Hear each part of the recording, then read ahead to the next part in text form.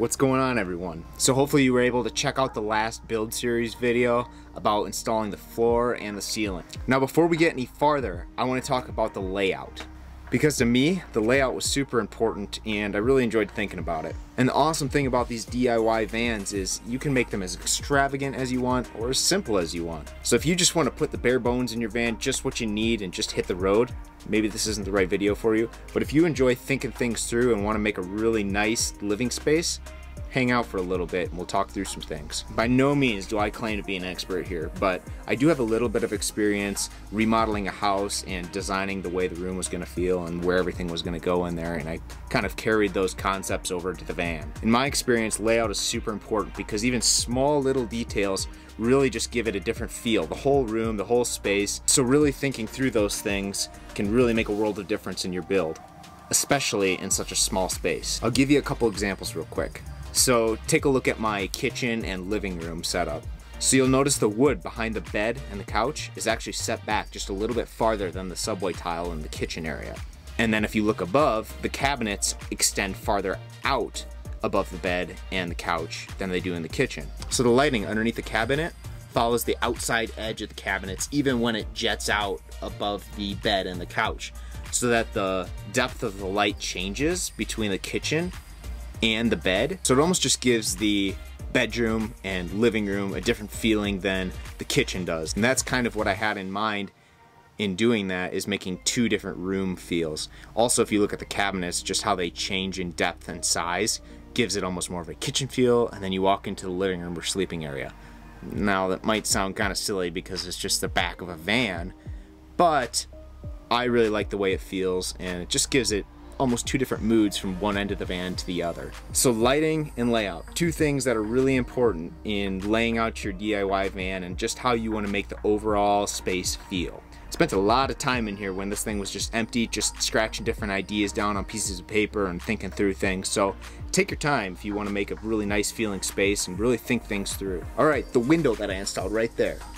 I got that online from a company called Panther RV Products. It was about $232 and that's with shipping included. And I can't stress enough, just make sure you're really happy with where you want to put your window or your roof vent or all that kind of stuff before you start cutting holes because that kind of stuff is really hard to change. I'll give you a quick example of how I thought through putting in the window. So looking at the window from my point of view from about my height, I wanted to be able to see out the window without the cabinets really blocking my view. So that came into play in building the cabinets and also where I wanted to put the window. And it turned out quite nice because the edge of the cabinets is just above the level of the window so I can still see out the window while I'm standing right next to the counter. Let me show you what I got going on today. Today I'm working on putting in my window.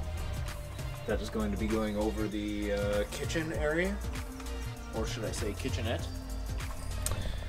So, uh, the other day I got uh, angle grinder and I came in here and I went ahead and ground out these ribs that are through here to make space for it. So I got a nice flat surface here.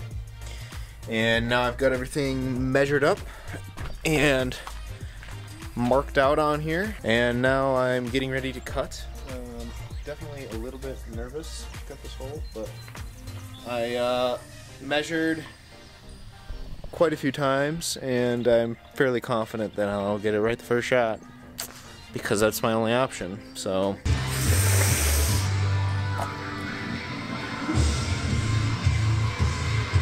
Check it out.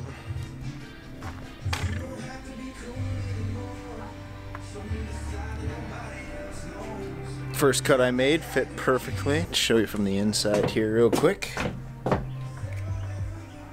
functions properly. Very happy with it.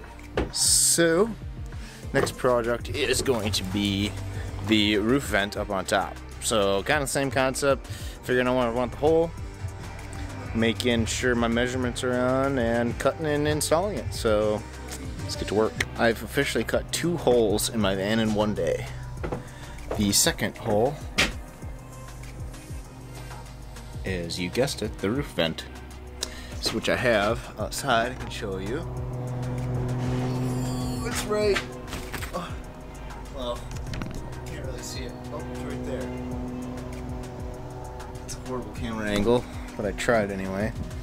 Uh, super easy, 14 by 14 inch hole. Uh, just kind of line it up where I wanted it and it fit great.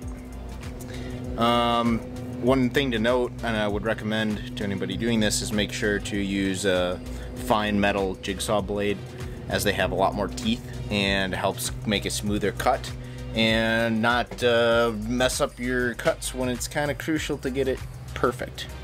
So yeah, there's a little tip, which everybody on YouTube already tells you, but I thought I'd tell you too. It's been a very productive day, I would say, for me out here working on the van.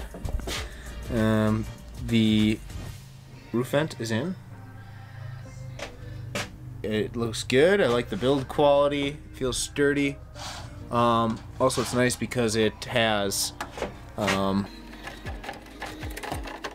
I don't even know what I was gonna say. It has something anyway, something important or cool. Wow, that was embarrassing.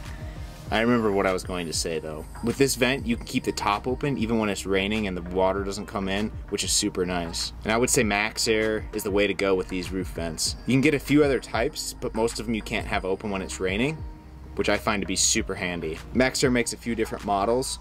One just has a white top, Mine has a black top that's actually see-through, so it's kind of like a skylight. And then there's one with a remote, and then this one you just control with buttons on the ceiling. So I hope this video was helpful for you and thinking through your layout and where you're going to start installing things. And if you have any questions for me or other ideas that I could have done differently in my van, drop them in the comments below.